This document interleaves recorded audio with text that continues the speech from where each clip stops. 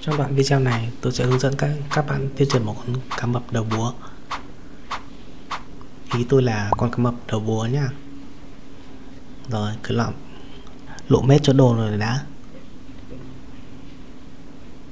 Kìa nó đấy.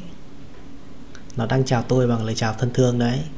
Rồi tí nữa nó sẽ được nướng lên thôi mà. Đấy cả đài.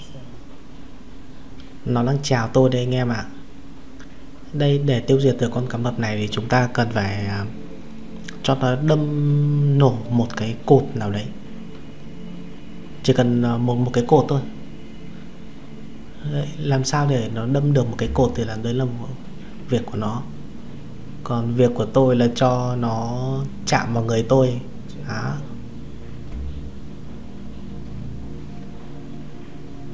nghe có vẻ khó khăn đấy.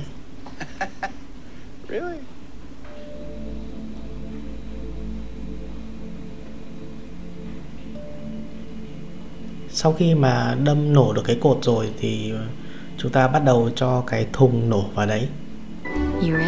Thì lúc đấy chỉ cần chờ nó nhét cái đầu nó vào nữa là thôi là cái cột nó sẽ nổ. Rồi đoạn này tôi sẽ tua nhanh nhá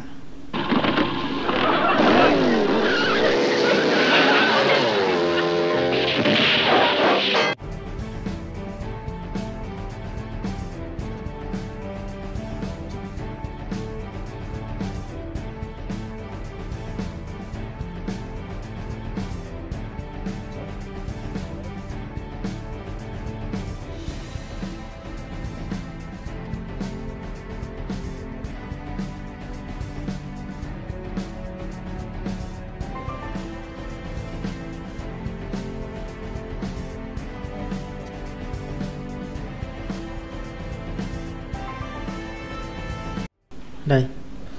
Sau khi ờ, nổ xong rồi thì là nó lại chui lên bên trên. Là bây giờ là phây thứ hai.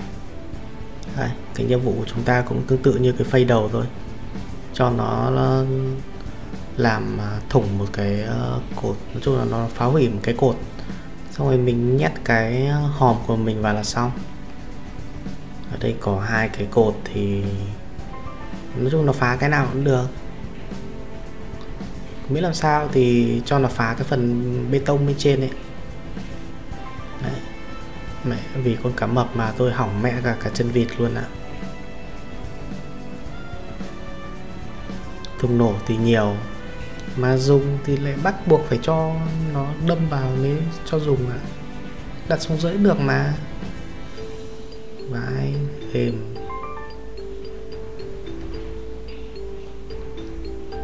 con này đầu cứng nhưng mà không đâm thủng được ờ, uh, sắt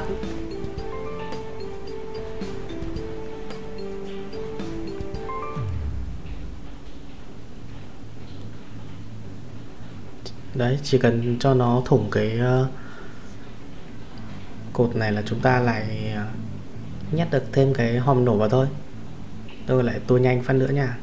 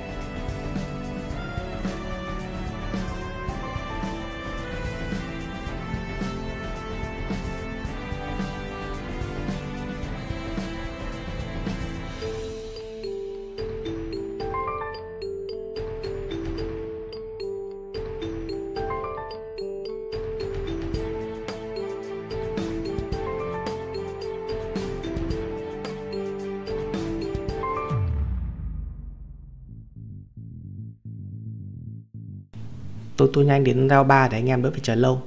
Thì tôi đã làm nổ gần như là cái hết cái cột này rồi. Bây giờ chỉ cần việc là đặt thuốc nổ vào thôi. Và chờ con cá nó lao cái đầu của nó vào thôi là xong. Nói chung là rau này là rau cuối cùng rồi. Đó, thế là chúng ta đã xong nhiệm vụ đấy. Cái này thì tôi nghĩ là anh em đi nên mang theo hai, ba bình nước đi theo. Thức ăn thì mang nhiều nhiều một tí. Còn vũ khí thì tôi nghĩ là mang cái giáo thì là xong một, hai cái thôi. Nhớ là mang hai, ba cái chân vịt nhá. Có chân vịt thì mới bơi nhanh được chứ không có thì mệt lắm rồi anh em mà thấy video này hay thì nhớ ủng hộ tôi nhá. Rồi like, share các kiểu cảm ơn anh em rất nhiều. Bye bye anh em.